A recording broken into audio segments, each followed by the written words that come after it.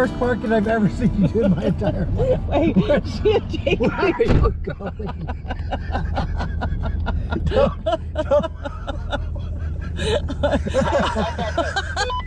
Aja is having the worst parking ever. Y'all are testing me about that, and y'all is crooked as heck in that parking space. what? Hello? No, man. Oh, yes, you are. yeah, Scotty's kind of. Uh, Crooked. Crooked. oh, goodness. Well, I have a, wait a minute, hold on. Yeah, two you're, different lines. you are. You're really crooked. I have a line that, I have a concrete line and I have a different line, so. oh. You can park on the concrete or. Get it together. Hon, I have concrete on this side, so. Is it raining? I don't think so. Okay. All right. Maybe we're parked correctly. Welcome to El Paso. Where craziness happens. Good morning, everybody. Hello, all. Might not be morning when you're watching this, but it's our morning. We are in El Paso, Texas. We spent the night at a Walmart here, and when we drove in, we, we met a viewer, and the very first thing he says is probably not a very good place to be. He said this isn't the best The part of town. Yeah. But we had absolutely no problems here. It was actually one of the quietest Walmart parking lots I've ever slept in. Yeah. So, we are getting ready to head down the 10. That's the route we're taking to San Antonio. And there is a little place, a neighborhood over here that has a house that is called the House of Sugar. And it is a work of art that a guy has been working on for over 25 Since, years. since I think it is. 1973. Yeah, and all the fencing is done out of um, concrete, but he's done some really cool things to it. So we're going to take you guys and show you that, and then we'll get on the road. Head south toward Dyer Street.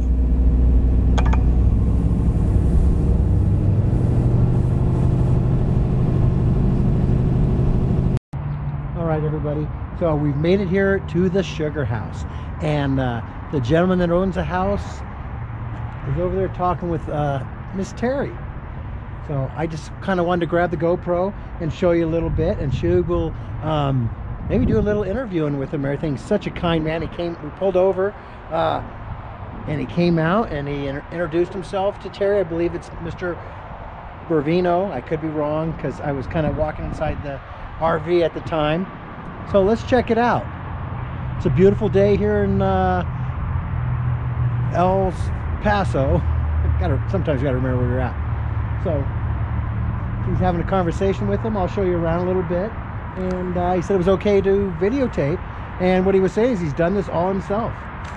And it's just absolutely awesome.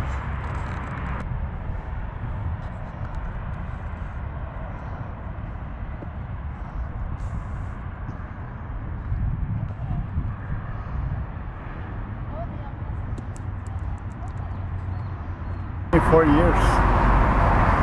It took you 24 years to do it? Yeah. Wow. And it is it how did you do this? It's uh, cement.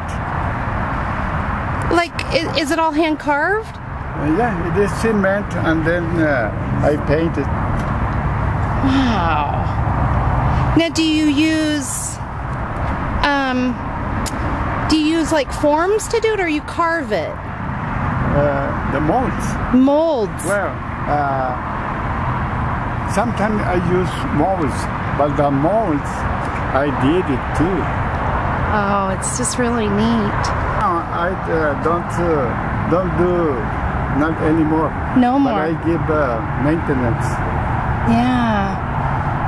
I, Almost every day I paint. I, um, you know, uh, sometimes it's destroy some flowers, and, and I did did it again. okay, okay.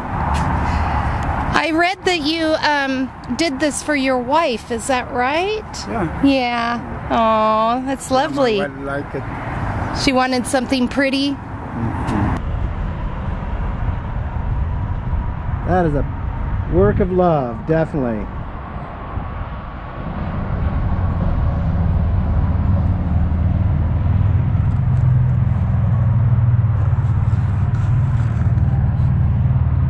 It's a Sunday. What a beautiful day to be here on a Sunday.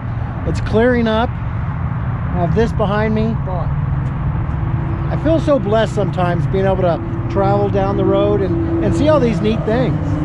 See, the little eyeballs. Somebody's always watching. He's even done the walkway. So intricate and beautiful. Right, well, you'll have to um, ignore the background noise because the freeway is right behind his house.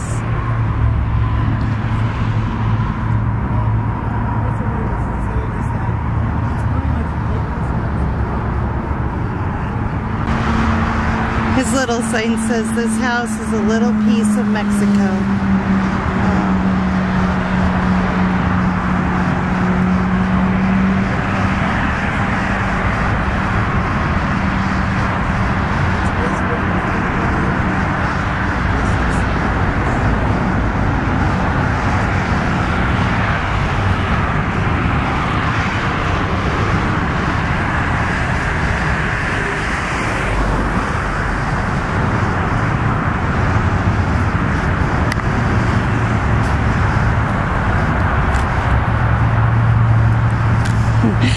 He says he doesn't do anything anymore, but I bet you uh, he would probably love to do something right here because it's an empty area.